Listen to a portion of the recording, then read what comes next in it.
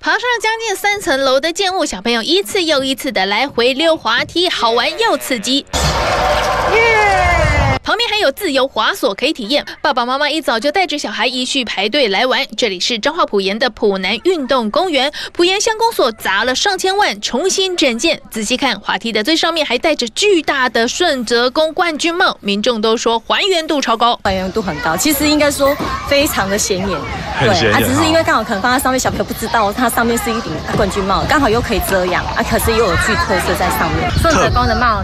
很像啦，对，很像。溜滑梯做的很好玩，从空拍镜头看得更清楚。超巨大的蓝色顺泽宫冠军帽底下的地板还画了三种颜色，分别代表了游泳、骑车、跑步，也就是铁人三项的赛事项目。挪威三铁选手伊登偶然间戴着彰化普盐顺泽宫的帽子，在三铁夺冠，因而爆红。这座公园就离顺泽宫也只有一百公尺，因此成为了运动公园的设计主题。有民众看到都直呼好可爱哟，好大的神帽！有带有保佑，现在溜滑梯也可以。本来这里是一个脏乱点，那个乱倒垃圾，做一个比较不一样的，然后想要新泽公帽子，然后盖在上面这样子，顺便行销补员，再来就是可以拍照打卡。